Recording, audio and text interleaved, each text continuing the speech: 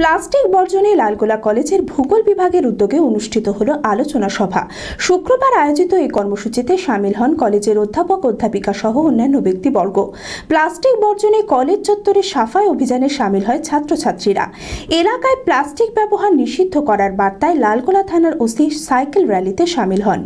বর্তমানে পরিবেশের উপর সবচেয়ে ক্ষতিকারক বর্জ্য পদার্থ হল প্লাস্টিক। সরকারিভাবে এই প্লাস্টিকের ব্যবহার নিষিদ্ধ করা হলেও এখনও প্লাস্টিকের ব্যবহার প্রচলিত রয়েছে।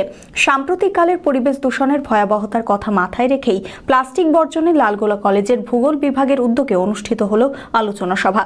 শুক্রবার আয়োজিত এই কর্মসূচিতে সামিল হন কলেজের অধ্যক্ষ সোমনাথ চক্রবর্তী সহ কলেজের অন্যান্য অধ্যাপক অধ্যাপিকাগণ। এলাকায় প্লাস্টিক বর্জনে কলেজ চত্বরে সাফাই অভিযান সামিল হয় ছাত্রছাত্রীরা। এলাকায় প্লাস্টিক ব্যবহার নিষিদ্ধ করার বার্তায় লালগোলা থানার ওসি সৌম্যদীপ দে সাইকেল র্যালিতে সামিল হন। এই র্যালির মাধ্যমে এলাকাতে পরিবেশ দূষণ এবং প্লাস্টিকের ব্যবহার কমানোর আবেদন জানানো হয় কলেজের পক্ষ থেকে। পরিবেশ বিষয়ক সচেতনতা শিবির দুদিনের কর্মসূচি। তো আমরা দেখতে পেয়েছি যে প্রচুর ইন্ডাস্ট্রি, তার মধ্যে মানুষ প্রকৃতিকে মানে যেভাবে লুণ্ঠন করেছে প্রকৃতির উপরে, এই ভাষাই ব্যবহার করতে হয়। তাদের পরিবেশ বা প্রকৃতি খুব ক্ষতিগ্রস্ত। তো কীভাবে আমরা যদি সচেতন না হই, তাহলে কিন্তু পরিবেশ ভীষণভাবে ক্ষতিগ্রস্ত হবে। এই কারণে পরিবেশ বিষয়ক সচেতনতার বিষয়ে আমরা দুদিনের কর্মসূচি নিয়েছি।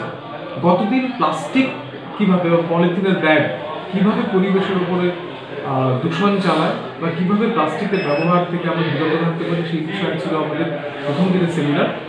আজকে আমাদের দুটি কর্মসূচি আছে। লালগোলা কলেজকে প্লাস্টিক ফ্রি ক্যাম্পাস হিসেবে ঘোষণা করা তো আমরা ছেলেপেলেরা, আমাদের স্টুডেন্টরা আমরা স্যার ম্যাডাম যারা আছি, তারা সবাই এই ক্যাম্পাসের মধ্যে জড়ো হয়ে যেখানে আমরা প্লাস্টিক পেয়েছি, আমরা সেগুলোকে ড্রামের মধ্যে রেখে সেগুলোকে সেফলি ডাম্প করেছি অন্য জায়গাতে।